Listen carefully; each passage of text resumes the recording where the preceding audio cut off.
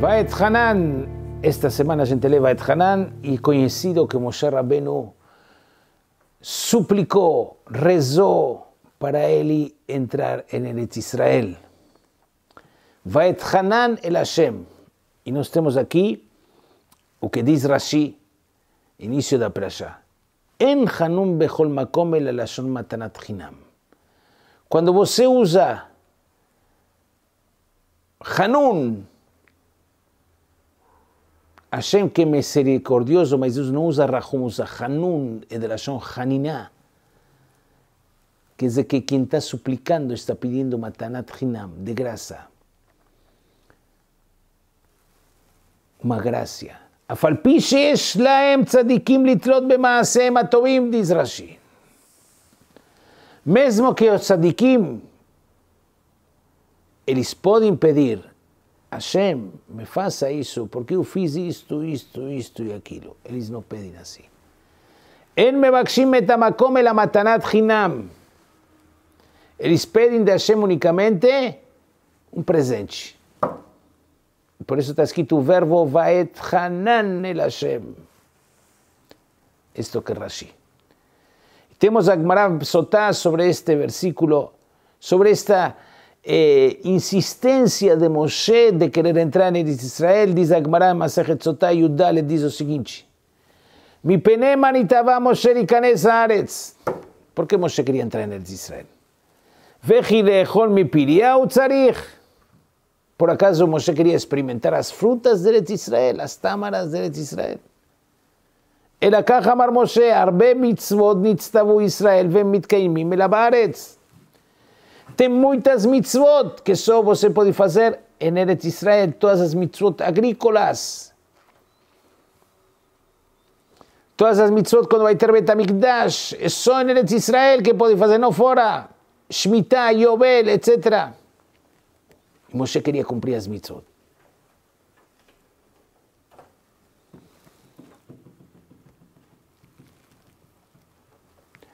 Sentir que nos falta cumprir determinadas mitzvot. Sentir essa falta e querer fazê-las. Por exemplo, a gente vive aqui fora de Eretz Israel. E nós não temos condições de cumprir trumot, masrot, produtos agrícolas, não temos sentir a falta. Desejo de cumprir mais e mais, e quero mais, e quero mais. Are Moshe Rabenu, toda, toda a Torá foi dita, Torat Moshe, Torat Moshe. Moshe Rabenu não teve um dia sequer livre de mitzvot, ao contrário. Mesmo assim, ele sentia a falta de ter mais e mais.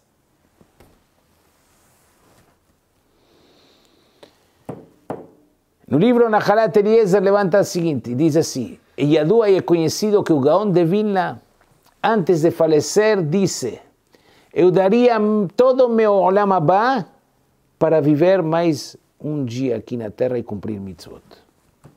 Perguntaram os alunos até aqui? Falaram sim. הרי está escrito מפורש. que está escrito? יפה שעה אחת ביצוע מעשים טועים בעולם הזה דכל חיי העולם הבא. E se a gente analisar e se aprofundar, diz este Raham, pouco mais. Veja a diferença entre pessoas que têm, que eles dizem, dizem que eles têm Olamazé. Eles querem desfrutar daqui, deste mundo. E estas pessoas que dizem que estão só desfrutando deste mundo e eles não, não querem nenhuma limitação e nenhuma, nenhuma amarração, nada, nada, eles querem fazer o que eles bem entendem e tudo mais. Se eles não conseguem ter proveito deste mundo, de alguma forma, de alguma coisa material, eles podem chegar até se suicidar pela falta daquilo que eles querem.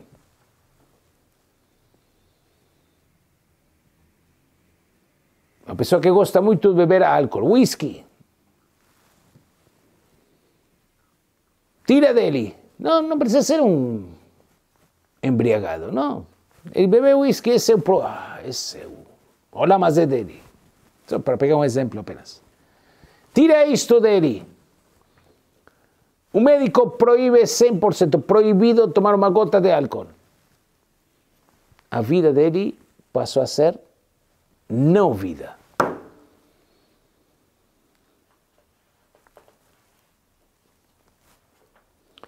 Por outro lado, você tem uma pessoa como o exemplo de Gaon de Vina, ou como Moshe Rabbeinu, ou qualquer tzadik, que eles se afastam e eles não querem ter proveito deste mundo. Zero. Mas quando você diz, você quer abandonar o mundo, eles dizem, não, não quero abandonar. Por quê?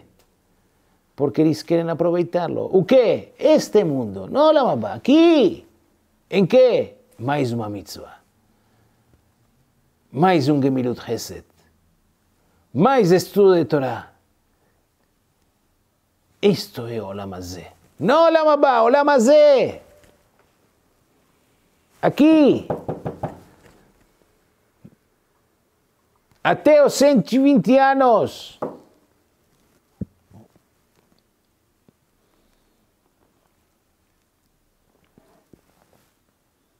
Ter a chance de você vestir uma roupa, um tzitzit e cumprir uma mitzvah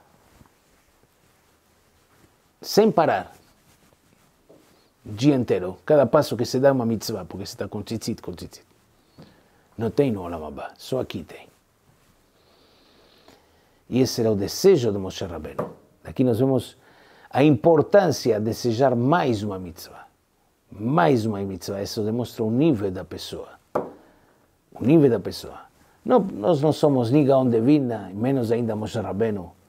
Estamos longe mas pelo menos desejar e saber que quando as mitzvot se apresentam na nossa frente, fazê-las com vontade, porque assim você está vivendo sua vida plena aqui no Olam Hazé.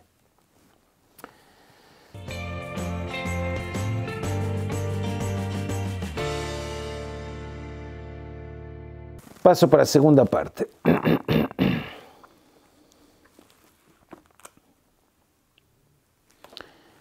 A Torá aqui nesta perashá de Vaithanan repete os dez mandamentos.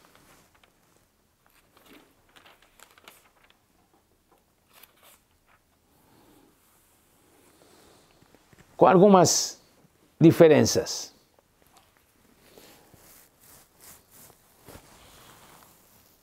Hoje está na moda. O que está na moda? Você tem algum carro bom? Já põe nas redes sociais. Um cara famoso mostra onde ele está passeando, o iate que ele tem e tudo que. Para que isso? Para quê? Por que eles querem aparecer? Vê a Torá no décimo mandamento e diz: Lotachmot, não cobiçarás.